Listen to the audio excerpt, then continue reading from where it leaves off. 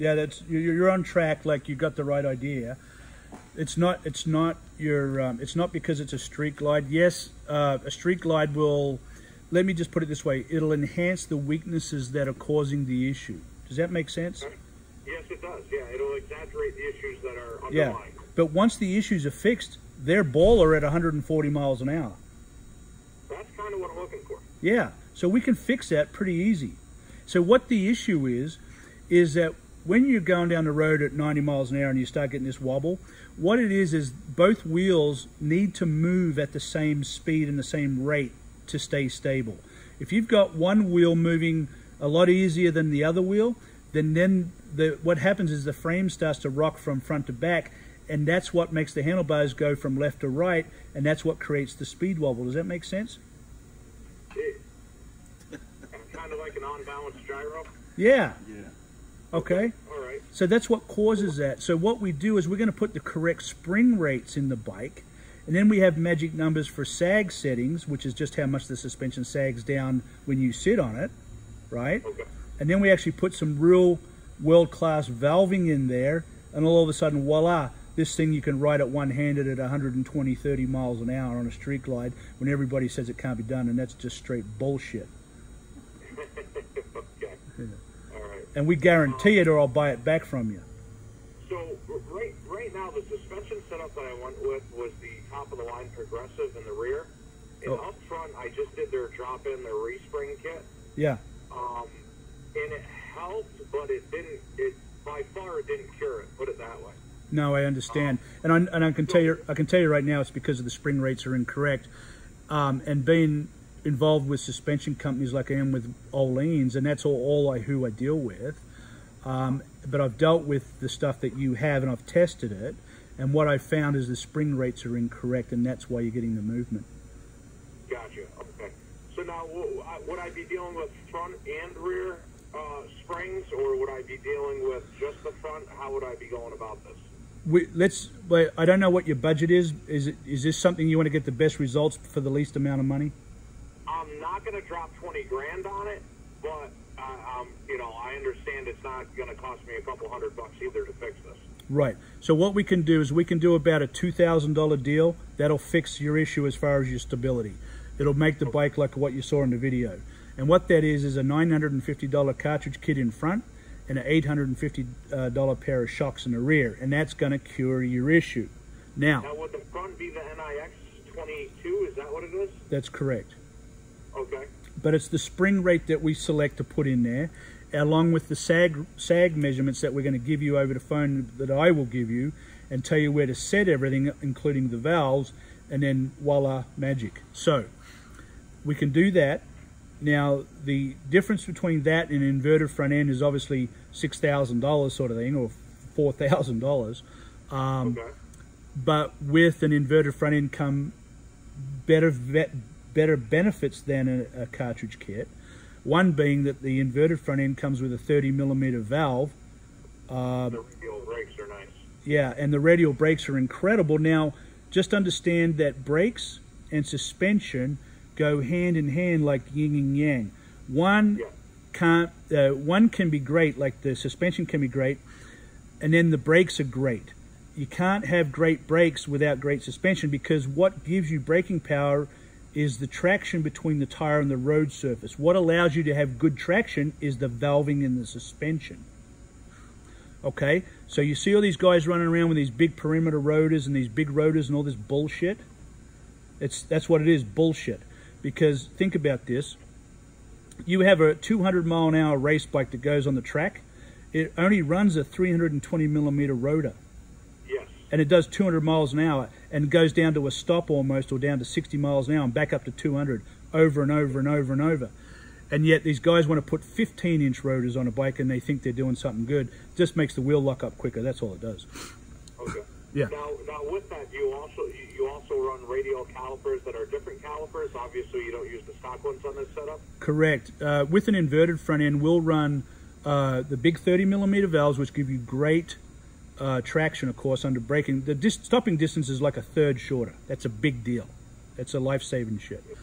I Okay. went to uh, I had swapped the stock over to the crown cut window uh, ceramic brakes. Uh huh. In just that, I noticed uh, quite a bit of a difference in, in stopping power. I was I was pretty happy with that. Sure, sure. So that that's the deal there. Um, and at very high speeds, the inverted is a lot better because you're getting better tire compliance, you're better braking. Um, the springs that are used in an inverted front end are no different than the springs that are used in a cartridge kit. Uh, the cartridge kit has a 22 millimeter valve, hence the word Nix 22. Um, and so there's a choice there. But as far as getting the best bang for your buck, the cartridge kit is the way to go, uh, just because it's so in so affordable uh, and gives such a tremendous improvement to the bike uh, in handling as well as braking. Um, but again, like I said, you can't beat the inverted front end for overall performance at the end of the day. I'm going to spank your ass if we're going through the mountains with an inverted front end because of the stopping power and the traction in cornering. Gotcha. Okay. Now you also mentioned that the rear was a swap out uh, to the suspension in the rear also. Yeah, I, I mean, there's a dividing piston shock which I like to push because it's only 850 bucks, and they work. It's still a gas charge. Stability to bike, and the valving that Öhlins has in their shocks is really good. Um, they actually build their valving uh, for two-up people on the touring models, so it is a little bit harsh when you're a solo rider. I do adjust those and I um, uh, make them softer if you want that, uh, but right out of the box, it's like incredibly stable and incredibly good shock. Uh, and so the when I ordered the progressives originally, they are the top of the line progressives, but I question this. Coming from a background of uh, uh, motocross, supercross, enduro riding, we dialed in to the pound our suspension. Now, when I ordered these, they're like, oh, there's a regular duty and there's a heavy duty. And There- that- there was kind of nothing in between. You know, it wasn't uh, a specific uh, spring rate. So for the Öhlins springs, you're telling me that it's actually based on weight, not just a regular duty, heavy duty. That, that's exactly right. So I'll give you an example, and, and you're really on the money here, okay? Because this is the issue I have with all the other suspension companies. Like, I'll have uh, Race Tech coming here, or Progressive, or Legends, and this is the deal. When we tune the suspension on a bike, we'll say, okay, uh, under if we get movement under power, I mean like 100 miles an hour, full throttle, and the bike starts moving around, we know the issues in the rear of the bike, okay, and not enough support from the spring itself. So we'll go up in spring rate.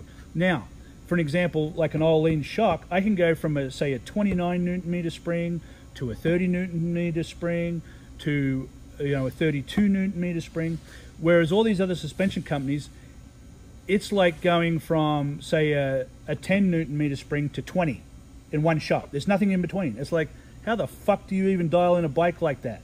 You can't. Which is what bothered me because I knew I was on the right track with something, but I didn't know how to fine tune it. And you just kind of gave me the means to. Uh, you, definitely my mind just talking about this. Yeah, I mean, I and I constantly go and have springs made by other companies to set suspension on a bike. You know, not not not because I can't get what I, because I may go ahead and get some spring. Like Öhlins makes a 39 millimeter cartridge kit, but they don't. They only make it for a Sportster, but they don't make it for an early Dyna or an FXR. So what I've done is I made the parts to make it fit, but then they don't make the spring rate for that size bike because they don't actually make an FXR kit. So I'll go get the, the correct springs made with the correct spring rate. And so, but I know all those things because of all the testing I've done.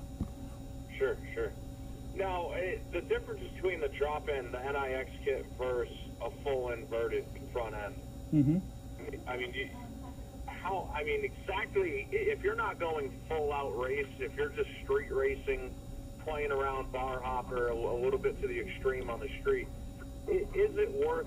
Is it worth spending the extra nut on it? Basically, I mean, Well, that's a good question. That extra few thousand dollars to do. It's a good question. And the answer is this. If you can afford an inverted front end, do it. If you can't, do the next best thing and get a cartridge kit. If I could afford an inverted front end, I would do it. If I can't afford it, I'm going to do a cartridge kit and it's going to ride as good, I mean, as in the stability department. It's going to be, you can still run 150 mile an hour if you want to go that fast. Um, but is it going to stop as quick? Is it going to be as have as much traction in cornering? No, but it's still Okay. damn good for what you know what I'm saying. For my touring, Yeah, for my street glide, I like to push it a little bit, but not extreme. Um, my Dyna, the project that I just took on, a 2011 Street Bob, with that, um, I'm probably definitely doing the inverted front end. Gotcha. Um, Yeah. j- Just because of the nature of the beast there. On the street glide, I want to kick back. I want to be able to haul ass when need be, but for the most part, it's my everyday driver. The Dyna, that thing comes out of the garage only to raise hell. Right. Then then then you already know the answer. That's that's good thinking. You know. Okay, all right, excellent. Okay, so cartridge kit, toss the progressives, which sucks because I just bought them. Yeah. Sorry. And uh, yeah, well, hey, shit happens, you know, unless you take things in on trade. yeah. Well, we actually take them out of bikes here all the time. I actually give them away to people. Say, well, if you can't afford a cartridge, here's one that's for free, but it's not that. It's better than stock. yeah, yeah, gotcha. All right. So, okay, uh, what's your lead time on these suspension components? On the FKS 212, which is uh, right now, I'm uh, I was expecting them in today, but um, I'm waiting for a call back from Öhlins because they were supposed to air freight 40, 40 of them in, and I'm waiting for an answer uh, literally right now today. Okay, It, right. it could be as little as a week, uh, or it could be four weeks. I don't know yet.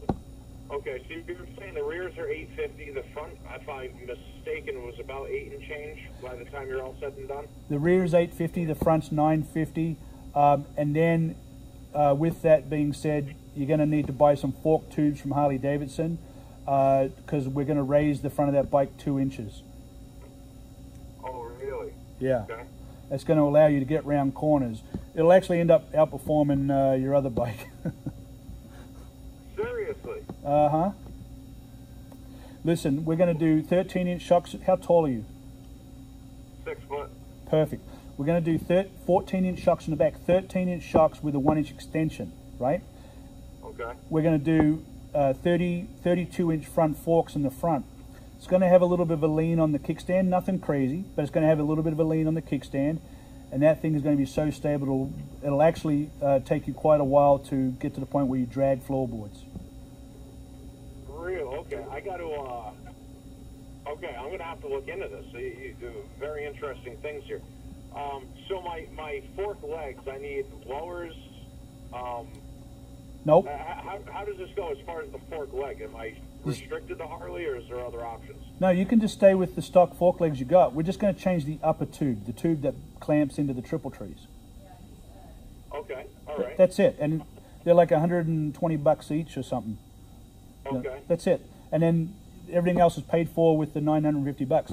And all you gotta do is put it in your bike. What year is the bike? 15? Perfect. Okay, that's it. It's a 49 millimeter deal. Um, and what you're gonna do is buy two Dyna Lowrider S fork tubes from Harley, right? And they're 100 bucks each or 120 or whatever the hell they are. And you're gonna put, you can go get those yourself, and I'll sell you everything else you need. You're, you're gonna put it on your bike, set it up. Uh, you're gonna call me, and I'm gonna tell you how to set it up, and then you're gonna be all smiles. Okay. Any, uh, do I have to extend anything as far as brakes are concerned? Anything No. like that? Nope. Nothing. Okay. No. Alrighty. Yeah. Okay, let me uh, w- let me mull this over. Um, so total, we're looking at about twenty three hundred, let's say, by the time incidentals are done. Uh, 850 plus um, the 950 plus call it 300. 2100 bucks. Okay, all right. Let me, and, and you're just saying totally different handle and bike. No, dude, I guarantee it. I'll buy all that shit back. Okay. I'm right. serious. I'm not joking. I mean, I do this. I've got 30 of these kits sitting in front of me, trying to ship out. And, Okay. and they're not buying them Let me, because they, uh, they think they're good. They're buying them because they've talked to people that have it. Sure, sure. Now, a- a- any of the fork tubes, is it possible to swap those out to gold? You know, that Abs- Öhlins absolute. Yes, yes. The answer is yes. And then you can buy two-inch longer uh, fork covers, or you can leave the fork covers off and expose those gold fork tubes. And how much are you talking for the Öhlins uh, gold fork tubes? Uh, I think Cycle Engineering sells them in drag specialties, and I think they're around 550 bucks somewhere in there. All right, not great. Okay. Yeah, All right, let me uh, let me figure this out, and we're gonna go from there. sounds good, bro. Thank you very much. You bet. Talk to you soon. So there you have it. That's that's what I do all day long. I talk to customers. I really enjoy talking to them because I can give them good information. I give them good information um, because I, I have it and I love to pass it on Yeah. Um, because it just makes me feel good to help people and to help them. And I, and don't get me wrong, I wasn't certainly wasn't trying to uh, talk Yeah. down on anybody else's product, but I know the flaws in the other product. and I know why it's not working, and it, Well, you, that was a good point brought up because they really do only offer two spring rates, uh, extra duty and normal. You and know? that's just not the way it is. Yeah. It's like offering two size shoes for everybody. it's like fucking what? yeah. yeah. Before we had that phone call, we were uh, we were kind of talking about the uh, the FXR and when James uh, Jesse James had bought that one and you had redid his bagger suspension. And Yeah. So and and Jesse really appreciates stuff because Jesse's a I mean, at the end of the day, you can um, think about Jesse James whatever you want to think about, but at the end of the day, Jesse James loves motorcycles, and is very very passionate about them, Yeah. just like I am. So we really click when it comes to this stuff. You know what I mean? And that's all there is to it. There's nothing more than that. And because everybody in the whole world is different from each other, um, but we all have one thing in common. If you're in the motorcycle business, is that we love motorcycles. yeah. That end of story. Yeah, that's what we were talking about earlier. We were talking about all the, the behind the scenes industry shit that was circumstantial, you know, with the industry crash. But it, it really is just the fact that we all just like to jump on bikes and ride them, and that's what brought us all to this point of building businesses up and stuff. You know what I mean? Yeah, absolutely. It's the only reason I'm in business because I love motorcycles. It's not because I plan on getting rich and living in an ivory tower. All I can tell you that. For sure. Hey, honey, this is Chad. He's gonna be bringing his tools in. Hey, Hey, Chad. how's? Nice to meet you, bro. Still. Yeah. Uh, yeah. Could you? Yeah. oh, yeah. Thanks. I'll, I'll get with you in a bit. Yeah, that, that's that's one thing that I realize a lot, or I see a lot, is that when shops are very um, passionate about riding, they, you know, another thing I've, I've also kind of recently realized is that the more shops I'm seeing that are passionate about riding, the more you see things like suspension setups and, and braking and, and in their showrooms are for sale and, and less like of the cosmetic stuff. You know what I mean? So Yeah. it's, it's kind of you know, because this stuff gives you positive or real feedback. Like when you put, uh, you know, eight inch stretch bags on your bike, it, it diminishes the, ability to ride it, and this makes it more possible. Yeah, we don't Yeah. sell fucking do-rags. You know, I only give a shit about what's going to make that bike better. That's Yeah. the only thing I really, honestly, I only care about what it's going to make it. I don't care what color it is. Yeah. I, I don't care if you want red rotors with blue buttons. I mean, yes, I'll do it for you. Yes, that's what I'm here for. But that's not my focus. My focus is always about how good can I make that bike ride. Because even though the guy may want to have those red rotors and blue buttons because it makes him feel good when he's sitting there looking at his bike, and I, I get that, and I am respectful of that. But by the same token, I want him to get on that bike and like pee on himself how good it is, Yeah. and that he can jet down the road at any speed, split a car at 110 mile an hour, and not feel like he's going to die or have it, you know, get the the Yeah, dyno wobbles, you know. So, Well, that's that's that's also cool. And you had said something earlier about how you know, hell, being right here close to the mountain and shit, you got some pretty nice roads you can go test these bikes on uh, pretty regularly. But you know, you had mentioned like you know, learning all the suspension, like like diving into that whole world of understanding all this stuff. You had a great analogy that was like learning how to play an instrument. You know what I mean? Yeah. I thought that was really cool. Yeah. Well, learning how to work on suspension, how to diagnose it, and to figure out what's needed where it's needed is like learning to play music because it's, it's very complex because there's so many things that affect like spring rate and sag measurements and valving and neck bearings and tire balancing and selection of tires and sidewall ratings and that type of thing. All that shit affects the handling of the bike, including the knucklehead sitting on it. You know what I'm saying? and how much horsepower he's got and that type of thing. Um, so with that being said, it was learning like learning how to play music. And, and what happened when I did that first bike, I went to uh, a prominent suspension company and said, "Hey, this thing handles like shit. You know, what can I do? You know?" And they, "Oh yeah, we'll fix it." Blah blah blah blah blah. Well, I went back there like freaking five times over five months, and they never got better. So I went to Öhlins and I said, hey, I'm having this issue and da da da da, and they actually sent me like a geometry sheet and said, well, do this geometry sheet, and then. And then they, I sent the suspension in that'd been done from somebody else to them, and they said, "Well, we dyno tested it, and it's cavitating, and this is happening, and that's happening." So they redid everything and sent it back to me. Bike was beautiful. I was like, "Fuck me, Yeah. this is who I'm using," because the, the people I've been using or trying to use or trying to figure it out were straight bullshit. They were just running around in fucking circles, and I was like, "What the fuck, man? Like this ain't cool." Like if I was like, I'm in business, so I was like trying to figure it out so I could, you know, be a business, make a business out of it um, or build a bike, you know, build the titanium, which is what my original plan was. And then after I got into the suspension and figured out what was wrong and figured out how to do it, you know, and it took me time, believe you me, it took me five years to actually get a grip and to actually understand suspension. It took me five years of, uh, you know, breaking eggs to be able to finally make omelets. Yeah. Um, and I had track tuners that were teaching me while I was going through that process. And when I finally got it, and it feels really good because that's the part where, you, like the analogy of playing Yeah. music. And now I'm singing songs, you know, sort of, right? Um, and it's a really good feeling, and I love to pass that knowledge on Yeah. to the customers and help them and actually really truly fix their issues and they are so appreciative of that and that dude I'd do it for fucking free if I didn't have to pay rent you know what Yeah, I'm saying yeah. for real That, that, I feel the same way about a lot of stuff we do. You know what I mean? Just uh, you love being in love with doing this type of work, and just being in the industry is good. It's good fun a lot. You know, it, it does get drained sometimes dealing with the uh, things that you have to make money for, like the rent, the, the bills, the this, that. well you know yeah that's just part of it but sure. you know at the end of the day it just feels so good to, to help people and um, the only time it becomes frustrating when somebody doesn't want to listen to you or believe you and then you just I don't harp on it I just like okay whatever. Yeah. Pretty much can't change their mind.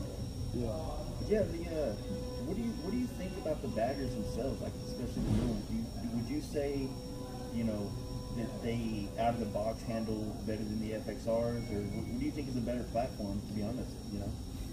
Uh, I, I like the baggers a lot. I like to, I, I don't care if it's an 05 bagger or a, or a 2019. Yeah. Uh, when I when I do my thing to them, I mean, there's a 2005 over there that's going to run. Thanks for looking awesome too. Yeah, that's going to run a, you know, 160 plus miles Or hour. what was it? S&S 143? Was that V2 heads in there or V3 heads? In there? Yeah, so that's a one. That's 160 horsepower motor, 160 foot pounds of torque with a Baker tranny, and it's got the gearing. It's chain drive. Um, it will absolutely run 160 miles an hour. Will it do 170? Hey, going downhill, flapping my arms, maybe if you could flap your arms at that speed, but it will be stable and it Yeah. will run that fast. Um, and that's and that's an 05 chassis, and everybody talks about oh the 05 chassis and the 2019 chassis. That's bullshit. All the, the chassis the, the, the chassis are identical as far as their geometry. Um, what the difference is is Harley's upgraded their suspension slightly Yeah. because there's about a ten dollar bill of material in their suspension. Yeah. Uh, and when you pull their suspension apart, it's like, really? That's all that's in here? Mm-hmm. Okay. No wonder we got problems here, Houston. Yeah.